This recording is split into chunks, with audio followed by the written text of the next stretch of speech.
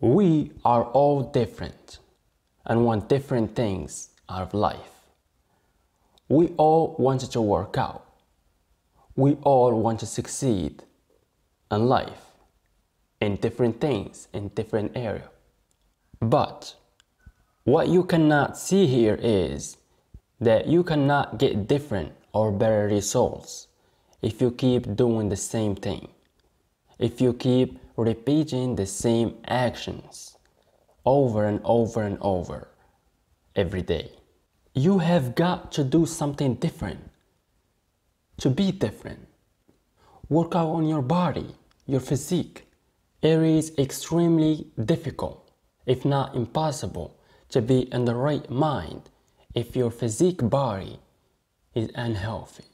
You need to be strong. You have got to be strong and fit an energetic physique body to resist the pain